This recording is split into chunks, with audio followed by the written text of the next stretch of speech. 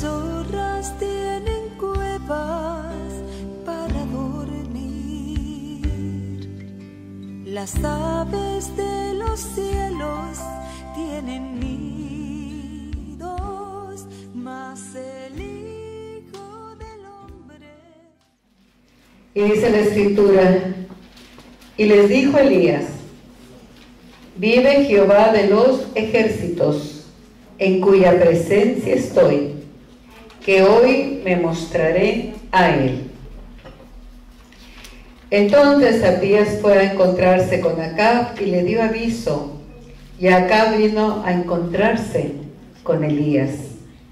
Cuando Acab vio a Elías, le dijo, ¿eres tú el que perturbas a Israel? Y él respondió, yo no he turbado a Israel, sino tú y la casa de tu padre, dejando los mandamientos de Jehová y siguiendo a los Baales. Envía pues ahora y congrégame a todo Israel en el monte Carmelo, y los 450 profetas de Baal y los 400 profetas de Acera que comen de la mesa de Jezabel. Entonces Acab convocó a todos los hijos de Israel y reunió a los profetas en el monte Carmelo.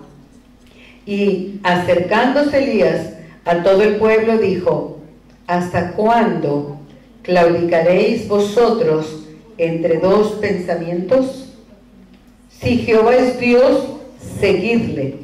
Y si Baal, id en pos de él. Y el pueblo no respondió palabra. Qué tremendo. Vamos a ver aquí. Vamos a comenzar con Acab que viene a encontrarse con el profeta Elías. Y aquí hay un intercambio de acusaciones, note usted. Acab culpa a, Elías de la sequía que están sufriendo. Ya pasaron tres años y medio. Y lo acusa, dice, ¿eres tú el que perturbas a Israel? Note usted, acá fue el rey más impío en toda eh, el reino de Israel ya ten- eh, que, Israel tuvo y que ha tenido. Y aún él no vaciló en culpar al piadoso profeta Elías por los problemas de Israel. Note usted. Note usted. ¿Quién es el impío? El impío es Acab. ¿Quién es el pecador? ¿Quién es el que ha violado los mandamientos de Jehová Dios? Acá. Sin embargo, él acusa a Elías. ¿No se les hace familiar este asunto? ¿Eh? La actitud del impío en completa rebelión en contra de Dios no admite su propia responsabilidad ante el juicio de Dios. Justificó su pecado en lugar de volverse al Dios verdadero. Hay quienes culpan a Dios cuando vienen problemas, que viene juicio de Dios, que viene vara. Para el impío es juicio. Aquí vamos a separar la diferencia entre para el impío que no conoce a Cristo es juicio. Para el creyente es vara. ¿Cuánto dicen amén? ¿Verdad que se siente bien bonito? Lloramos, pataleamos, culpamos a otros. También, también tenemos esa tendencia de culpar a otros. Cuando nos va mal, cuando hay problemas, cuando hay problemas, culpamos a otros. Hay quienes culpan a Dios cuando hay una tragedia, una desgracia fuerte. Dios, si Dios lo hubiera evitado, culpan a Dios. Eh, Aquí no hay nada nuevo. Acá culpa al, al profeta piadoso, al hombre de Dios, al varón de Dios. Hay quienes culpan a los padres. Que mi padre, es que mi madre, y, y pues póngale toda la lista que quiera. Hay quienes culpan a la familia, es que mi familia nunca me ha apoyado. Hay quienes culpan su, su nivel académico, es que si yo hubiera tenido posibilidad de estudiar, hubiera tenido una mejor educación. Hay quienes culpan de que, de, que nadie me extendió la mano. Hoy, ahorita, todos culpamos a Trump. Todo lo malo es por el presidente de este país. Fíjense. Pero antes que él entrara, ¿cómo estaba la nación? No había, no estaba permitido, recuerden, se había permitido el aborto. Se le dio libertad y derechos a los gays. ¿Cierto o mentira? Cierto. Ha muerto más bebés antes de nacer que los que han muerto en las guerras. Entonces, pero ahora, como estamos mirando que el Señor está azotando, azotando con huracanes, con terremotos, con sequías, sequías, la sequía es un juicio. Lo estamos mirando en el capítulo 18. La sequía es un juicio de Dios. Entonces, pues ¿a quién culpamos? Pues vamos a culpar al presidente, ¿verdad? Porque vamos a culparlo a él. Eso no es nuevo. El impío, el pecador, el, hombre que no quiere saber de Dios, siempre va a culpar a alguien más, pero no admite su responsabilidad. Hay pecado. Y Dios trae juicio sobre el pecado. Así es que hay quienes dicen también que me provocaron, por eso pequé. Es que yo no quería, pero pues casi que me forzaron. Note usted. Eh, ¿No ha escuchado usted algo así? Yo no quería. Si usted no hubiera querido, usted tiene libre albedrío. Usted puede decir no al pecado. Puede decirle no a los amigos. Puede decirle no, inclusive a la misma familia. Porque es mi relación con Dios, es mi salvación, es mi vida. El ángel le dijo a, a este Lot, escapa por tu vida. Escapa por tu vida. Cada uno de nosotros debemos de escapar por nuestra vida. Hay quienes culpan las circunstancias y dicen, bueno, yo pequé porque las circunstancias me obligaron, este, pues robé porque no tenía comida, X cosa. Eh, culpamos a muchas cosas, hermanos, en lugar de volvernos a Dios. ¿Qué es lo que tenía que hacer acá? Volverse a Dios. Fue por su rebelión en contra de Dios, por su idolatría. Lo único que él tenía que hacer es volverse a Dios. Pero en lugar de volverse a Dios, pues voy a culpar al profeta, ¿no? Voy a culpar a otros y voy a justificar mi pecado. Siempre será más cómodo acusar a otros y, y justificarnos, ¿verdad? Más fácil. Acuérdense, Adán lo hizo y prontito que le salió nadie le enseñó. No había nadie que le enseñara. Pero prontito pegó y acusó, pues a la única que tenía al lado, no había más. Y le tocó a la mujer, a su esposita, miren nomás. Y no, primero acusa a Dios. La mujer que me dices, fíjese.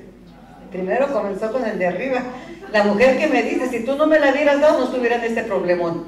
Alabado sea el nombre de Cristo Jesús. Y después la mujer, pues, tan, tan, pues, pues ahora quién acuso, ya acusaron a Dios, ya y ahora me acusan a mí. Y pues este, la serpiente, la serpiente se quedó callada. Pero hay una gran razón que después lo vamos a ver en demonología, por qué se quedó callada. Porque cuando nosotros acusamos le damos poder al enemigo. Ahora vamos a entender por qué, por qué este, bueno, no me quiero meter en eso ahorita, quiero seguir con Elías.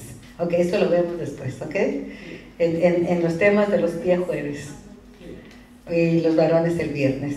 Ok, entonces, de acuerdo a la teología de acá, hacía, hacía sentido lo que él estaba diciendo. ¿Por qué? Porque él creía que el culpable era Elías, porque él adoraba a Baal. Entonces, y creía que Baal estaba enojado. Note usted lo que creía la teología de acá. Que Baal estaba enojado y por eso había retenido la lluvia, porque es el dios del clima, el dios de los truenos, el dios de la lluvia, el dios de los relámpagos, el dios del fuego. Entonces, que está tan enojado, el pueblo está enojado con Elías y acá también, porque Elías, Elías es el único contrario. Entonces, Baal está enojado. Y como Baal está enojado, no Jehová, Baal está enojado, entonces no, Baal hizo que no lloviera. Note usted, note lo que está pensando acá. Y por eso está, está en contra de Elías. Y él piensa que si atrapaba a Elías y acababa con Elías, pues ya Baal iba a estar contento y iba a venir la lluvia. Ahora podemos entender lo que Dios hizo con, con Elías. El grande peligro que estaba su vida era toda la nación buscándolo. Y todos, con, imagínense, con hambre. todos con hambre por la sequía, creyendo que si mataban al profeta, Baal iba a estar contento y iba a llover. Ahora puede entender por qué Dios lo escondió en el arroyo de Kerit y ahí lo sustentó. Ahora puede entender por qué lo lleva a la misma, a la misma boca del lobo, porque ahí no lo iban a buscar, en Sarepta, la tierra de, de Jezabel. Ahora ya el Señor sabe lo que hace. Por eso la Escritura dice en Romanos 8:28, ¿qué dice? Todas las cosas obran para bien. Todo, todo. El, Elías no entendió, pero Dios estaba tratando con el carácter del siervo, de su siervo. Estaba moldeándolo, estaba puliéndolo para que él este, se enfrentara más tarde, tres años después, se enfrentara con acá y tuviera ese valor de confrontar no solamente acá, sino todo el sistema religioso pagano de la nación. Note usted. La confrontación. Los profetas de Baal odiaban a Elías por tres años. Fíjese, ¿por qué lo odiaban? Por tres años ellos habían invocado a Baal para que lloviera y habían fracasado. y sus oraciones no habían tenido éxito. El Dios del clima no había enviado lluvia y ponía en evidencia su fracaso sacerdotal. ¿Cómo estarían enojados? Elías, un hombre solitario, un solo hombre, un hombre solitario que vivió en el desierto, se enfrenta a todo un sistema de idolatría y con firmeza se mantiene de pie delante de ellos, desafiando lo falso para poner en evidencia el poder del verdadero Dios. Note usted. Y vamos a la pregunta de Elías, verso 20 y 21. Entonces Acab convocó a todos los hijos de Israel y reunió a los profetas en el monte Carmelo. Tres años y medio de purificación, de limpieza, tres años y medio de preparación. Ya era profeta Elías, pero tres años y medio que Dios lo preparó para este momento. Note usted,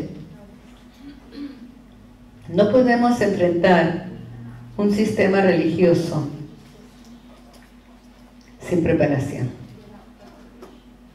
Pero Dios está conmigo, también estaba con Elías. Pero Dios lo va a hacer, cierto, Dios lo va a hacer. Pero el instrumento tiene que ser pasado por el fuego. ¿Cuántos dijeron amén? El instrumento tiene que ser purificado. Ningún cirujano agarra los instrumentos con los que va a operar sin estar esterilizados. Porque el mal va a ser peor. Dios trabajó con su profeta para el gran momento de subir al Carmelo y desafiar 800 profetas, él solo, con el poder del Espíritu Santo. Y la pregunta en el verso 21, y acercándose Elías a todo el pueblo dijo, ¿Hasta cuándo claudicaréis vosotros entre dos pensamientos? Note usted. Si Jehová es Dios, seguidle. Y si Baal, id en pos de él. Y el pueblo no respondió palabra. Wow. Mire la corrupción. Que no tuvieron ninguno, ni uno, tuvo el valor de decir, escojo a Jehová Dios. Ni uno. Callaron. Miren cómo estaba el pueblo en una total entrega a lo falso, a la idolatría, a un Dios, no uno, sino muchos dioses falsos. Entonces ah, el pueblo adoraba, pero también adoraba a Jehová, porque dice en medio de dos pensamientos. También adoraban a Jehová Dios pero tampoco querían dejar de adorar a los dioses falsos. En otras palabras, vamos a ponerlo de manera que lo podamos entender. Y vamos a tomar la ilustración del esposo infiel, que no quiere dejar a, su compañera, pero tampoco quiere dejar a su amante. Así vivió Israel. Querían a Jehová, pero también querían otra relación con otros dioses. Qué tremendo, ¿verdad, hermanos? Por eso es que Elías dice, ¿hasta cuándo van a claudicar en medio de dos pensamientos? ¿Hasta cuándo claudicaréis? La palabra claudicar en hebreo significa cojera, hacer alto, saltar, danzar, brincar. Es la misma palabra que se utiliza en el primer libro de los reyes, donde estamos en el verso 26, donde los profetas de Baal danzaron alrededor del altar. Posiblemente el profeta quiso decir, ¿por cuánto tiempo danzarán entre dos pensamientos? ¿O por cuánto tiempo saltarán entre dos pensamientos? Y esto es una metáfora tomada de los pájaros que saltan de rama en rama sin saber dónde asentarse. Note usted lo que el profeta está diciendo. Elías puso en claro que había diferencia entre el servicio a los Baales y el servir a Dios. Quizá en las mentes de ellos no había gran diferencia. La única cosa importante era tener un tipo de religión y el ser sinceros supuestamente en, en cuanto a ello siguiendo su corazón a donde su corazón los guía. Pero Elías quería demostrar que sí había diferencia entre Jehová Dios y los dioses falsos. Y esa es nuestra responsabilidad. Esta es nuestra responsabilidad, Iglesia de Jesucristo. Hoy día hay muchas religiones y cada día van a salir más. Muchísimas religiones. Cada día salen más innovaciones. Recuerde que, el enemigo siempre va a venir cada generación con cosas nuevas. Note nuestra responsabilidad de demostrar que si hay diferencia entre nuestro Dios y el Dios de ellos. Elías lo hizo y es nuestra responsabilidad como iglesia de Jesucristo, al menos que estemos claudicando en medio de dos pensamientos que adoremos a Dios. ¿Saben qué hacía el pueblo? Adoraba a Jehová Dios en el tabernáculo y todo el camino este, en el desierto hacia la tierra prometida, adoraban a otros dioses también. Nunca fueron fieles a Dios. Nunca se decidieron por el verdadero Dios, a pesar de que miraron el poder de Dios. Elías hoy los confronta. ¿Hasta cuándo? ¿Hasta cuándo? ¿Cuántos sermones necesitan para que se repita lo que está diciendo Elías. ¿Cuántos domingos más necesitan para que vuelvan su corazón al Señor? Para convencerse que Jehová es el verdadero Dios y no andar saltando de un lado a otro sin tomar una decisión seria para con Dios, tomándolo como una religión más.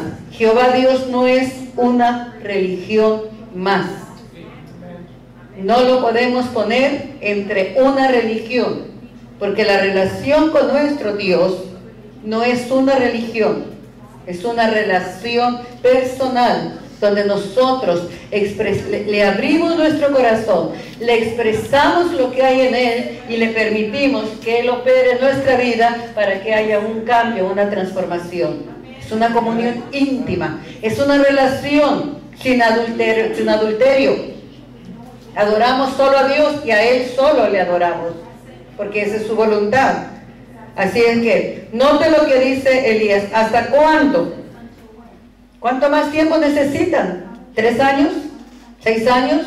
Para decidirse a tener una relación seria y no andar adulterando con los dioses de este mundo. Hay dioses en este mundo. El dios celular, el dios internet, el Dios dinero. El Dios trabajo. El Dios mi amigo, el Dios los hijos, el Dios... Eh, hay muchos dioses. Hay muchos dioses. ¿Cuándo? ¿Cuándo vamos a tomar una decisión seria? Quizá usted ya la tomó, gloria a Dios. ¿O qué queremos ver para que nos rindamos a Dios? ¿Qué más queremos ver? ¿Qué más muestras queremos ver para decidirnos y decir, tú eres mi Dios y fuera de ti no hay Dios? ¿Qué tanto más tenemos que ver?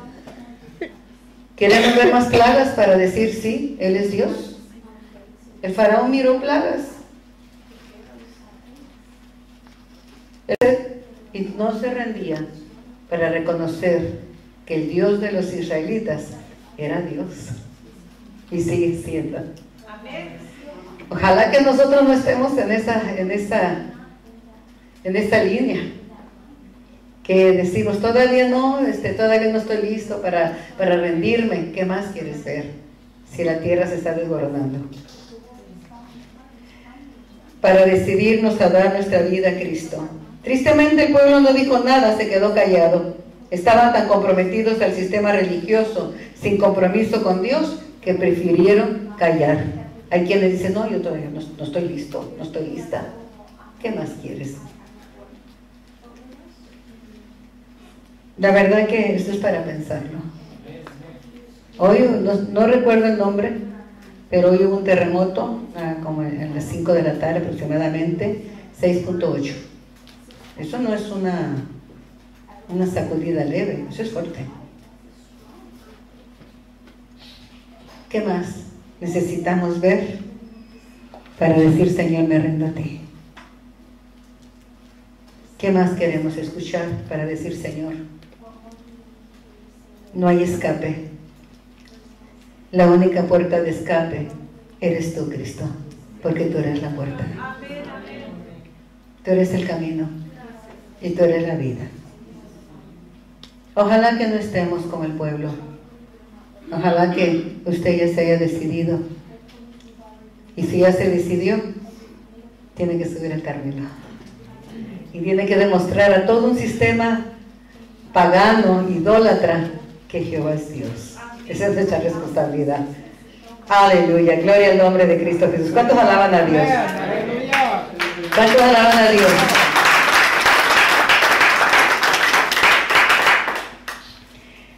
Spurgeon dice, ellos no estaban decididos en la práctica. Podemos decir lo que dijo Isaías, este pueblo me honra de labios, pero sus corazones están tan lejos de mí. Podemos estar en la iglesia, gente que está en la iglesia, aprende la mecánica religiosa, canta, levanta las manos, ora, hasta llora, pero no hay arrepentimiento sincero en el corazón. Y al no haber arrepentimiento, no hay cambio está en un sistema religioso dentro de la iglesia. Porque el sistema religioso usted ya cumple, es domingo, días de guardar, etcétera, etcétera.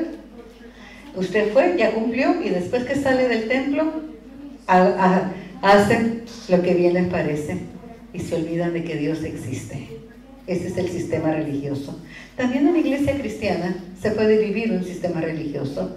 Llegar al templo, Después de al, salir por la puerta, yo vivo en mi casa, yo vivo en el trabajo, yo vivo en la escuela, como yo quiero y no como Dios quiere que vivamos nuestras vidas cristianas.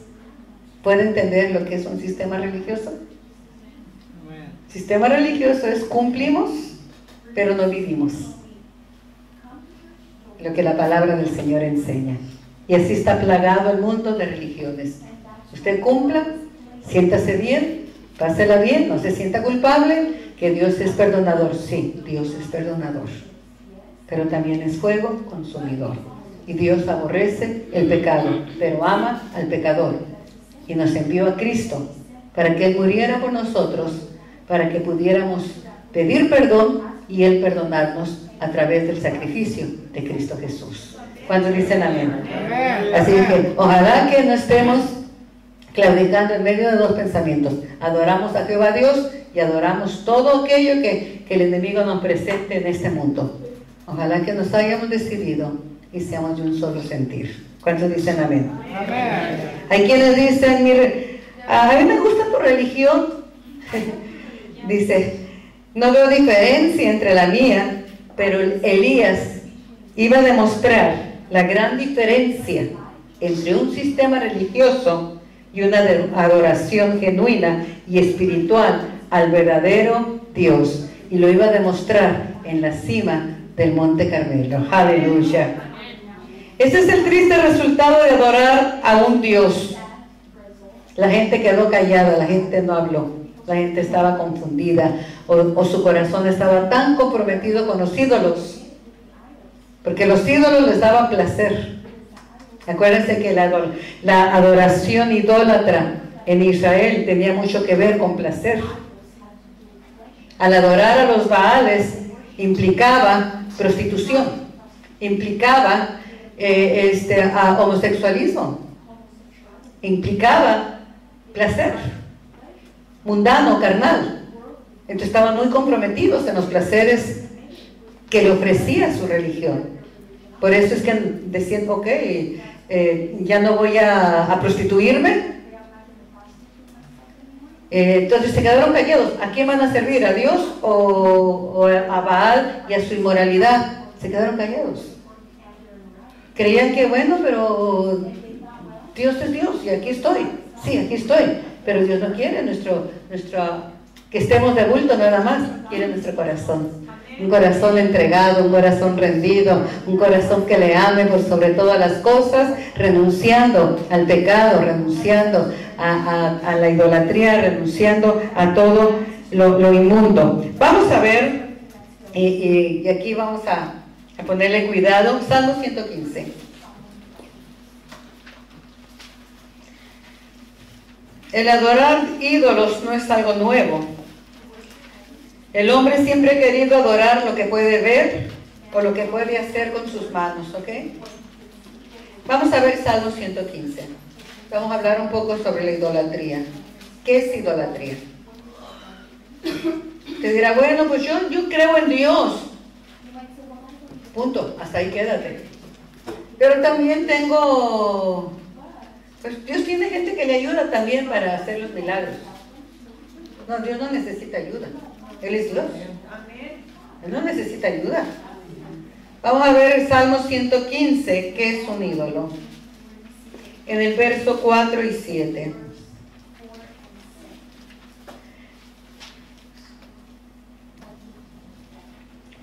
Vamos a ver el 4. Salmo 115, verso 3. Desde el 3 vamos a leer. Nuestro Dios está, ¿dónde? En los cielos. Todo lo que hizo, ha hecho. Los ídolos de ellos, vamos a ver qué es un ídolo, son plata y oro, obra de manos de los hombres.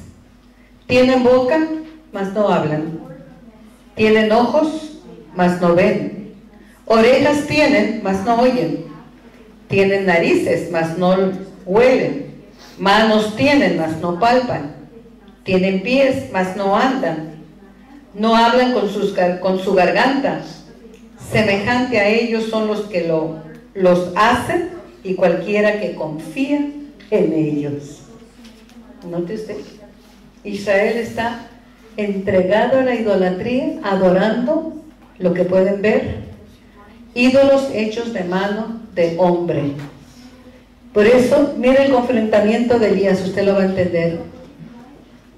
Está confrontando que Dios conteste. Los profetas de Baal están también invocando a su Dios para que conteste. Pero ¿qué dice la escritura? Tienen boca, pero no habla tienen ojos, pero no ven. son, esculturas, obra de mano de hombre. Esos no son dioses. ¿Cuántos dicen amén? Vamos a ver otra vez en Salmo 135. Alabado sea el nombre de Cristo Jesús. Salmo 135 en el verso 15. Aleluya. Los ídolos de las naciones, ¿estamos todos? Son plata y oro, obra de manos de hombres. Tienen boca, vuelve a repetir, y no hablan. Tiene ojos y no ven. Tienen orejas y no oyen Tampoco hay aliento en sus bocas. Semejante a ellos son los que los hacen y todos los que en ellos confían. Wow. ¿Estamos comprendiendo? Israel cayó, no habló. Cuando le dijeron, si Jehová es Dios, sírvale. Y si los Baales, pues vamos, sírvale. Estaban indecisos. Mejor se quedaron callados. Estaban tan comprometidos con la idolatría que prefirieron callar. Qué serio es esto. Una escritura más sobre la idolatría que nos, que nos habla de sentido común si todavía no entendemos. Esta escritura nos va a dar sentido común para ver la idolatría, que es un engaño tan terrible que ofende a Dios y desvía de la verdad. Isaías 40, 44, perdón, en el verso 10. Tómale cuidado, póngale ojo ahí bien pegado. Isaías, ahí de los salmos nomás avance un poquito y va a encontrar Isaías rápidamente. Isaías 44, 10. ¿Estamos todos? Sí, ok, escuche. Si no, si no puede leer, puede escuchar. ¿Quién formó un Dios ¿O quién fundó una imagen que para nada es de provecho? He aquí que todos los suyos serán avergonzados, porque los artífices mismos son hombres, o sea, los que los hacen. Todos ellos se juntarán, se presentarán, se asombrarán y serán avergonzados a una. Ahora mire lo que hace el herrero, verso 12. El herrero toma la tenaza, trabaja en las ascuas, le da forma con los martillos y trabaja en ello con la fuerza de su brazo. Luego tiene hambre y le faltan las fuerzas. No bebe agua y se desmaya. El carpintero tiende la regla, lo señala con almagre, lo labra con los cepillos, le da figura con el compás hace en forma de varón, a semejanza de hombre hermoso, para tenerlo en casa. Corta cedros, toma ciprés y encina que crecen entre los árboles del bosque, planta pino que se críe con la lluvia. De él se sirve luego el hombre para quemar y toma de ello para calentarse. Enciende también el horno y cuece panes Hace además un dios y lo adora. Fabrica un ídolo y se arrodilla delante de él. Parte del leño quema en el fuego, con parte de él come carne. Prepara un asado y se sacia. Después se calienta y dice, oh, me he calentado, he visto el fuego. Verso 17. Y hace del sobrante un dios, un ídolo suyo se postra delante de él, lo adora y luego, y luego ruega diciendo, líbrame, porque mi Dios eres tú. Mire la insensatez de la idolatría. Van al bosque, cortan un árbol, parte de la leña la usan para calentarse, para cocinar, y la otra parte del árbol dice que hacen una, lo tallan, le da forma de hombre hermoso. Y luego después de que come, se arrodilla ante él y le dice, tú eres mi Dios, líbrame. Esa es la idolatría.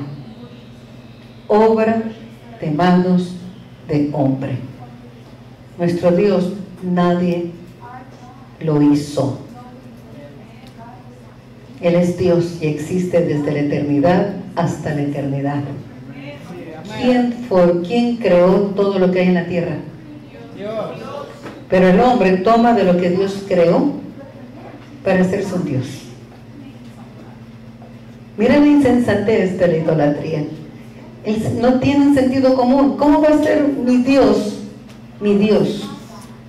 Un pedazo de madera, de yeso, de oro o de plata, hecho por mano de hombre, después me voy a hincar y los ponen hermosos.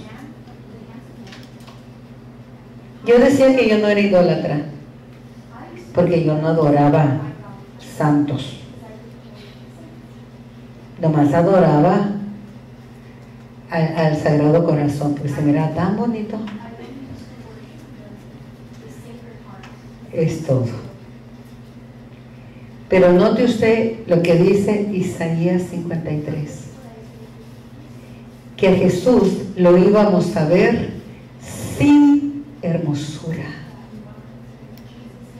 Les falló los que hacen ídolos, porque hacen hombre hermoso para arrodillarse, orar y decirle, líbrame, tú eres mi Dios. Eso no son dioses son obra de mano de hombre. Jehová es espíritu. Jehová Dios es espíritu. Por eso dice los que le adoran, en espíritu y en verdad es necesario que le adoren. Con el corazón dispuesto para Él. No vemos imagen. La imagen del Padre es Cristo. Sin embargo, Cristo vino sin hermosura para que no lo deseáramos en la carne, para que no lo siguiéramos, porque ¡ay, qué hermoso! Y se, y se enamoraran de Él por su apariencia.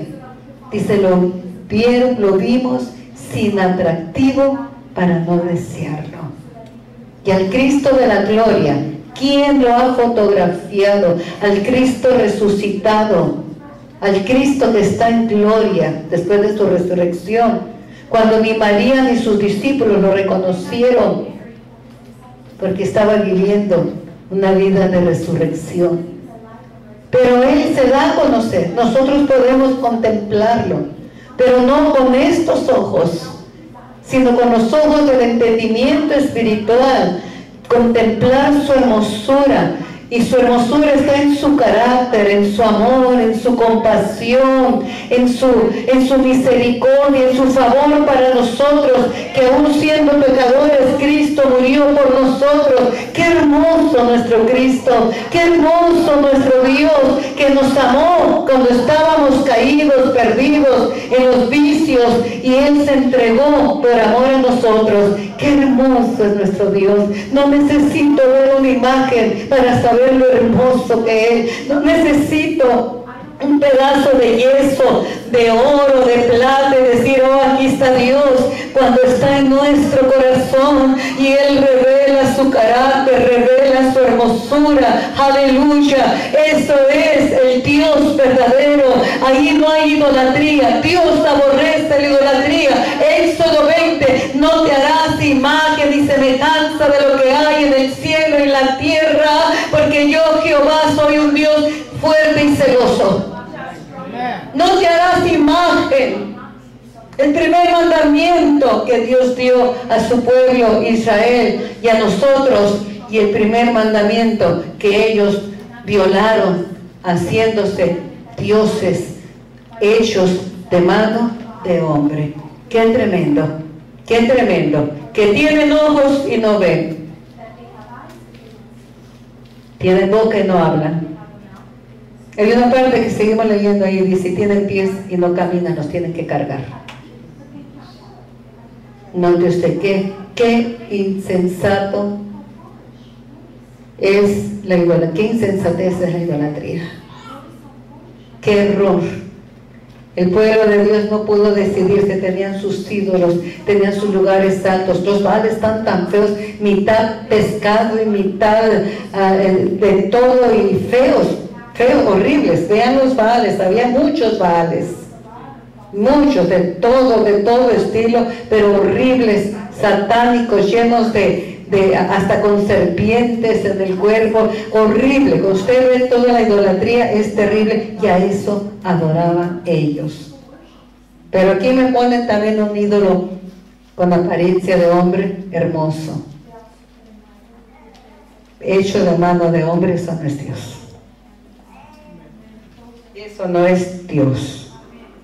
El Evangelio no consiste en palabras, sino en demostración de poder. Con esto es la, la, la introducción para la clase de la próxima semana. Ok, Jehová es Dios, a él sírvale.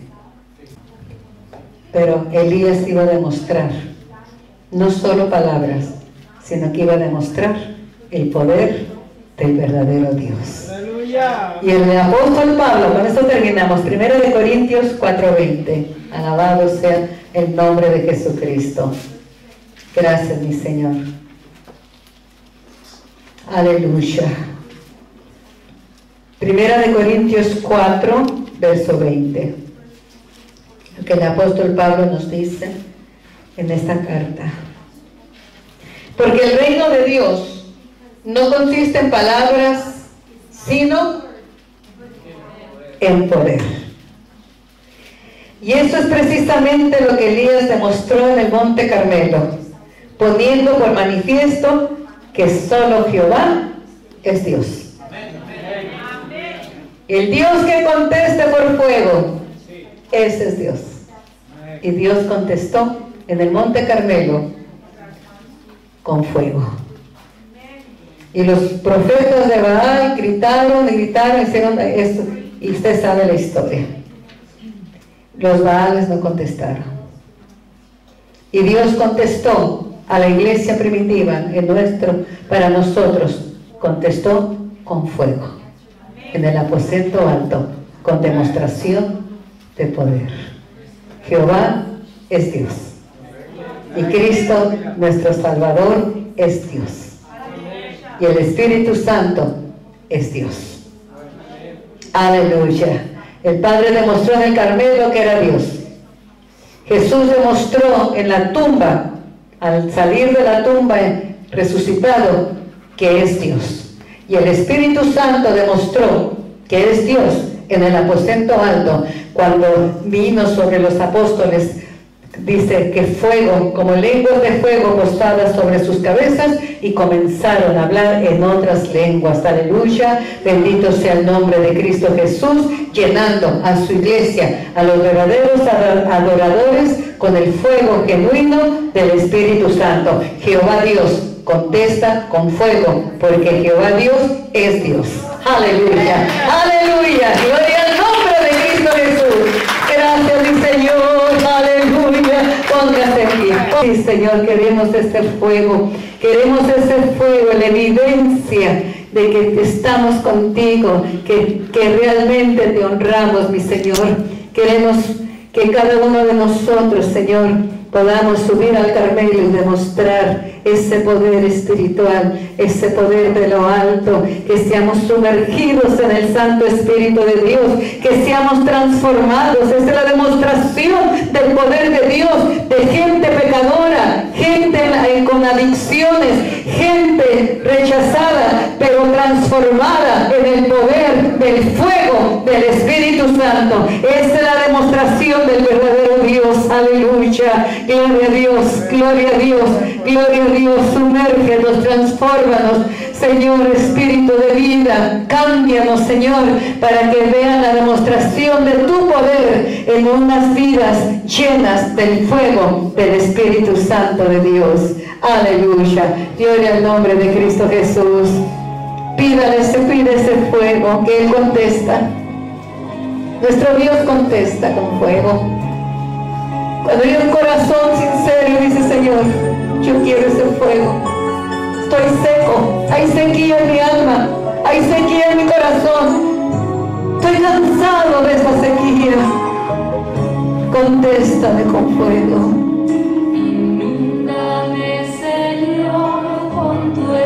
Hágale una oración, pídaselo.